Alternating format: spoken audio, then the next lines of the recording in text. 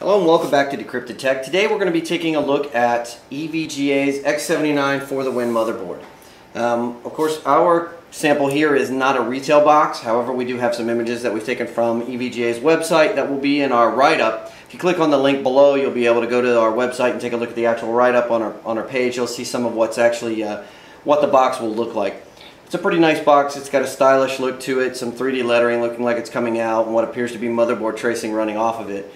You know, kind of to give an indication of power. The box is black like you see here. But overall, it's pretty similar to a lot of what, you're, what we're used to seeing with motherboard boxes. But let's get past that and let's take a look at what we actually received inside of our box. And we'll go ahead and open this up here. And inside the box, this is a review unit, so of course the, uh, some of this stuff has been used before. It's not really a big deal. It's going to give you an indication of what you are going to get. You get some SATA cables. You also get a Molex to SATA power converter. You can see here. Um, you get a USB 2.0 adapter, with, which also has a FireWire adapter. These plug directly into the motherboard.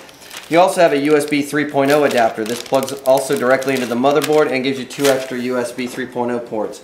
You have your I.O. shield with the now popular padding. Um, you have some another Molex connector that pushes it out to multiple eSATA as well as some uh, or SATA cables as well as some uh, additional eSATA cables. You have a flexible and large uh, SLI adapter and you also have two three-way SLI bridges. Now the first SLI bridge is just going to be for standard. Um, this is going to give you two cards in X8 and one card in X16. But this one, it appears to be the, the type that they would normally use for a four-way SLI. However, they've left a spot open. Uh, reading some of the material and the, uh, the manual that comes with the board, it appears that this is for three-way SLI with PhysX. So you put that card in the center and we'll show you how this would stack up on the actual board. We do hope to, to do some testing with three-way SLI this time and uh, we'll see how this works out with using both uh, both adapters there. Right underneath our box here, we're going to have the EVGA X79 for the Win motherboard wrapped in EVGA's uh, custom static bag here. We'll go ahead and get this pulled out.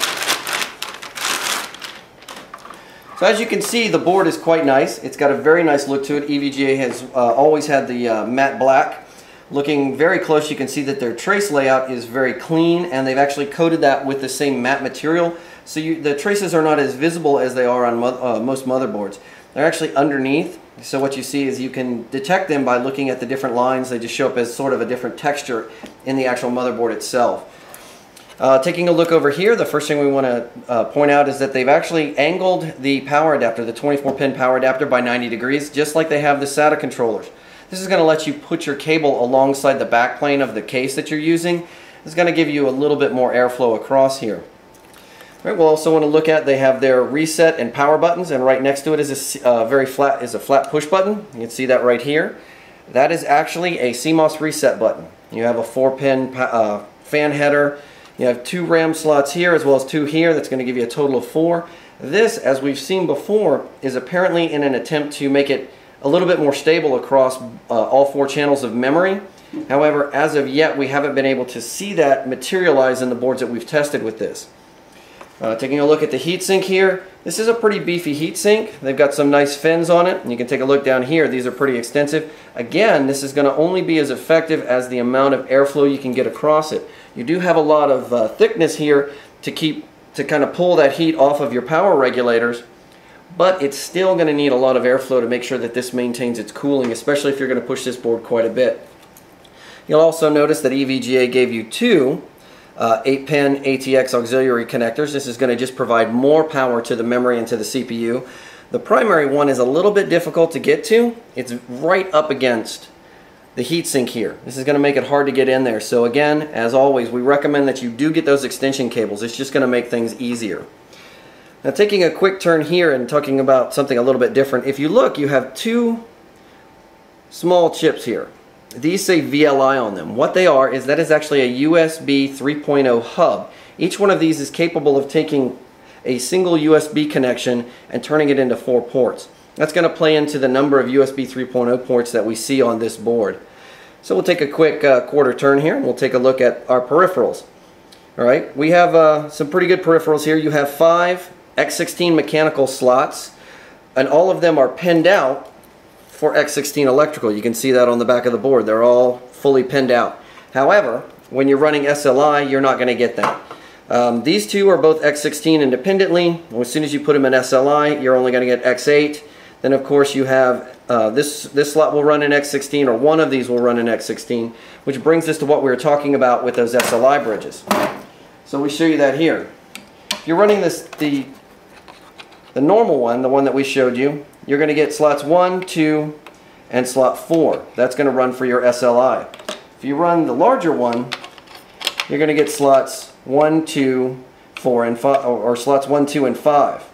Now, looking at their layout and their product materials, what you would do is you would run this with slots 1 and 2, and then you would put your additional physics card in either, and more most likely in slot number 4. Slot number 4 is going to be far enough away that you can still run your dual height coolers on each of these without running in, into any obstacles. So that's going to give you your best options for running uh, SLI in addition to having an uh, extra card in there just to handle your physics processing. That's NVIDIA PhysX, not your standard physics like Havok or another one that relies on the CPU for its power.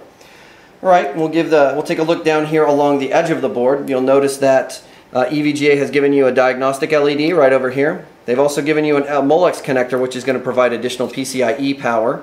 They've given you four USB, actually three USB uh, I take that back, correction. There are four USB 2.0 headers here. Three of them are covered up. You have a 1394 header, your USB 3.0, two additional fan headers, and also your USB 3.0 hub here.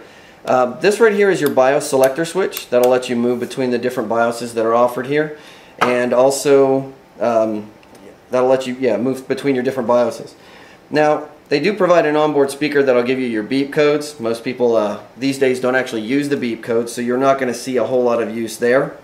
Um, and we also want to take a look at this heatsink. This is an enlarged heatsink that's going to cover a lot of this lower area here and should provide better cooling not only to the X79 chipset, but as well as to some of these other components, such as the Marvell uh, ATA uh, SATA 6, uh, 3.0 connector that's down here.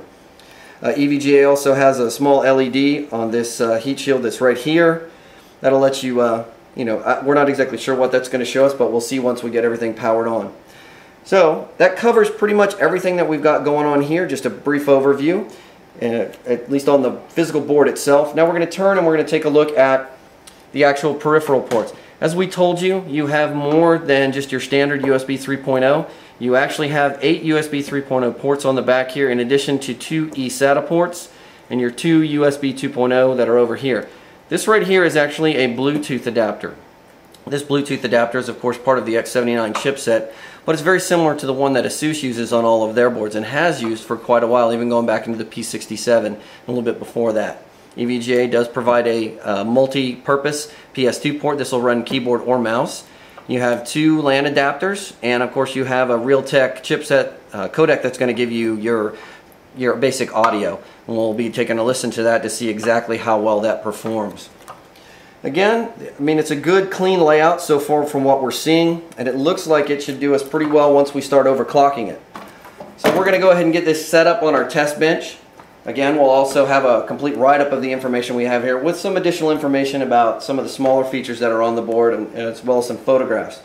So don't forget to click on the link below to take a look at the, at the full write-up if you haven't been there first.